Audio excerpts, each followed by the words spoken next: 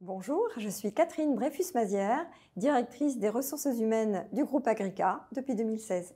En termes d'activité, nous sommes à la fois assureurs, et nous intervenons sur euh, les métiers de prévoyance, de santé et d'épargne, et nous sommes également un opérateur de la retraite complémentaire sous l'égide de l'Agir Carco.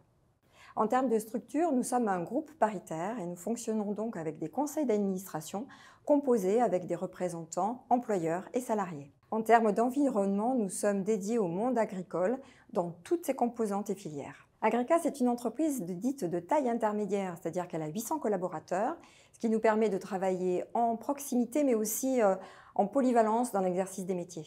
Le groupe Agrica, c'est une entreprise en, en, transformation, en mouvement, avec beaucoup de projets ambitieux qui font la paire belle à l'innovation. Nous sommes très attachés au sujet de qualité de vie et de conditions de travail, notamment en termes d'organisation, avec des horaires variables, mais aussi du télétravail pour une large proportion de collaborateurs. Nous menons aussi une politique active en termes de diversité et d'inclusion, et notamment à destination de nos collaborateurs en situation de handicap.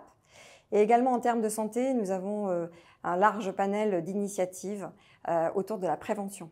Nous avons une vraie dynamique en termes de mobilité interne, avec des parcours professionnels très ouverts c'est vrai que nos collaborateurs peuvent accéder à, des emplois divers, mais ils peuvent aussi euh, exercer des missions euh, plus ponctuelles dans d'autres secteurs. Notre offre de formation, elle se déploie pour accompagner la transformation des emplois, les évolutions euh, technologiques, réglementaires, et de façon plus large, le développement professionnel.